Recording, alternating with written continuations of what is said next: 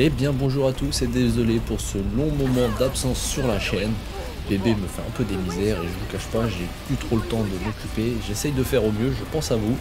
Je suis également en live sur Twitch pour ceux qui se posent la question, mais là n'est pas le sujet. On est parti pour un petit test, Prime Memory Infinite.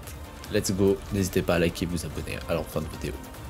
Sorti le 12 novembre 2021 sur PC et console Xbox au prix de 17 euros, Bright Memory Infinite est un jeu développé par le studio chinois FYQD. Après un Bright Memory réalisé par un seul homme faisant surtout office de démo technique, il me tardait de poser les mains sur ce nouveau Bright Memory Infinite pour voir si les promesses techniques et qualitatives étaient au rendez-vous. Commençons d'abord par les points qui fâchent. Eh ben soyons francs, je n'ai jamais vu un jeu avec une histoire d'une telle nullité et aussi peu travaillée. Vous incarnez une jeune femme membre du SRO, une organisation scientifique qui enquête sur le surnaturel, partie probablement en week-end pour fêter le nouvel an chinois lorsque d'étranges événements climatiques éclatent non loin de vous. Vous êtes réquisitionné afin d'aller enquêter seul sur les étranges événements survenus proches de vous. Le joueur va devoir évoluer dans de somptueux décors, le tout en défouraillant une puissance militaire inconnue, aidée par de nombreux démons. Le scénario ne nous apprend absolument rien. Après avoir fait le jeu deux fois, je n'ai toujours rien compris au scénario. Pire, la fin du jeu arrivant au bout de 3 pauvres heures de gameplay, ok, on a clairement la sensation de rester sur notre fin, de plus que les éléments à débloquer sont assez pauvres, conduisant le jeu à une rejouabilité quasi inexistante. Voilà pour le plus gros défaut, et rassurez-vous, même si j'ai bien taclé le jeu, celui-ci nous réserve tout de même un bon gros lot de surprises.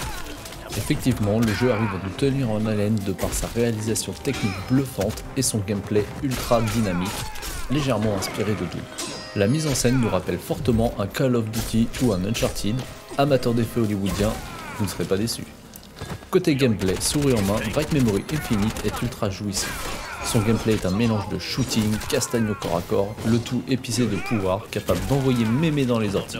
Chacun y trouvera son bonheur, le jeu nous laissant le choix d'alterner entre gunfight et corps à corps, pour notre plus grand plaisir. Le choix des armes quant à lui se résume au nombre de doigts de ma main si on inclut l'épée avec la possibilité de changer de munition vous permettant de faire un max de dégâts et d'explosions. Armes et pouvoirs peuvent être améliorés en ramassant des reliques dissimulées sur les ennemis ou dans des caisses. Chacun y trouvera son bonheur, la sensation de chacune des armes se veut vraiment excellente, le tout renforcé par un sound design au top du top. Le bestiaire quant à lui n'est pas en reste et est étonnamment varié pour un jeu d'une durée de vie aussi courte et les boss, bien que manquant cruellement de charisme, se veulent assez techniques dans leur pattern et jouissifs à affronter. Et même si certaines mécaniques de gameplay ont déjà été vues et revues dans pas mal de FPS, je dois quand même avouer qu'une fois souris en main, Bright Memory arrive à dégager une sorte de fun et de kiff inexplicable et m'a laissé complètement ébahi sur certaines de ses missions. Côté graphisme, le jeu n'est pas en reste également, et je pense pouvoir affirmer sans trop me tromper que nous avons entre les mains l'un des plus beaux jeux de cette fin d'année 2021.